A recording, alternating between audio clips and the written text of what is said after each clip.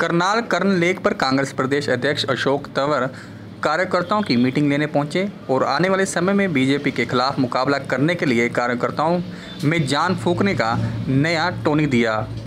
कार्यकर्ताओं को कांग्रेस पार्टी के प्लान से अवगत कराया। उन्होंने बीजेपी पर स्मार्ट सिटी बनाने की योजना पर भी निशाना साधा और कहा कि स्मार्ट सिटी करनाल व फरीदाबाद के अलावा और भी कई शहरों की अनदेखी क्यों की गई?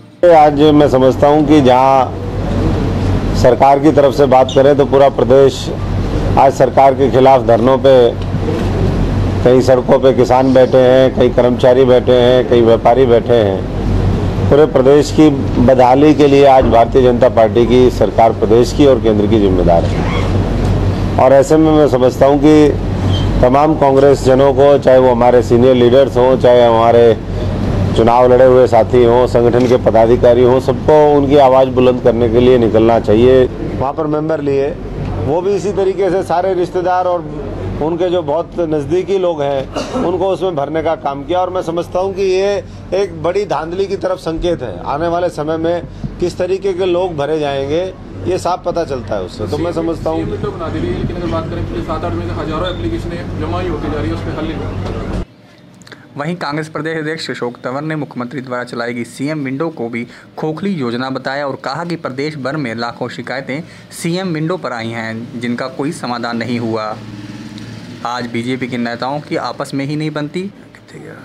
जो हर रोज़ बयानबाजी कर रहे हैं, ये अनुभवहीन सरकार है। विंडो जो है, ब्लैक होल है। जिस तरीके कहते हैं ना, ब्लैक होल, उसमें कुछ पता ही नहीं है। ऐसे ये भी है। विंडो में कुछ चला जाता है, उसके बाद उसके कोई उसमें ऊपर कार्रवाई नहीं है।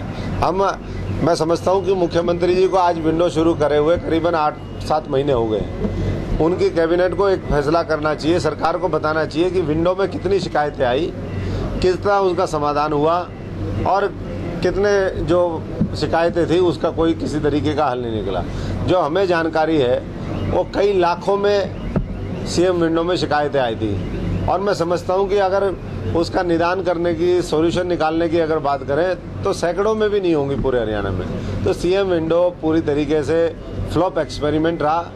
हम लोगों ने भी उस समय समर्थन किया था ये सोच करके कि ये एक अच्छी कोशिश है और अच्छी पहल का हम स्वागत करते हैं। लेकिन मैं समझ करनाल से आज़ाद टीवी न्यूज़ के लिए कैमरामैन कमाल खान के साथ, विजय कम्बोज की रिपोर्ट।